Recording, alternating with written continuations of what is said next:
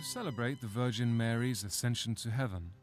the devoted people draw back a votive machine called vara,